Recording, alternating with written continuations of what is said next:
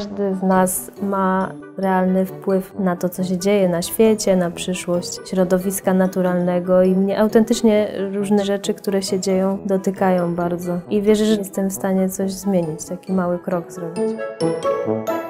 Nazywam się Barbara Szewczyk. W Gdańskiej Szkole Artystycznej prowadzę zajęcia Eco Art. Zajęcia przeznaczone są dla dzieci w wieku wczesnoszkolnym, tak aby od najmłodszych lat uświadamiać, że piękno i ekologia to jedno. Ale także działamy artystycznie. Moje zajęcia to przede wszystkim nauka kreatywności. Materiały, na których pracujemy, są nietypowe dla zajęć plastycznych.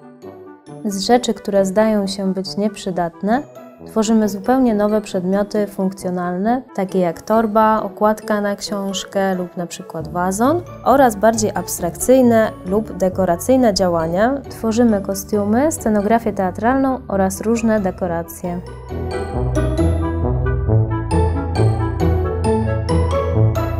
Na zajęciach EcoArt rozwijamy manualne zdolności. Dzieci pracują z szydełkiem, z nożyczkami, na drutach, a także z igłą i nitką.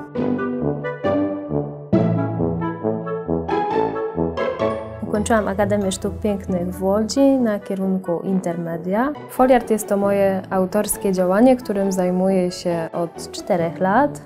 Jest to zarówno recykling, jak i artystyczne projektowanie różnorodnych obiektów z foliówek na szydełku.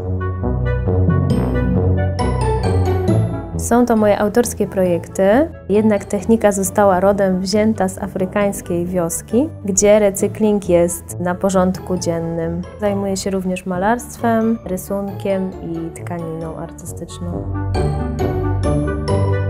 Zajęcia EcoArt budują w dzieciach kreatywność, a także niestandardowe myślenie, jak można wykorzystać tak proste materiały, jak na przykład butelka plastikowa albo karton.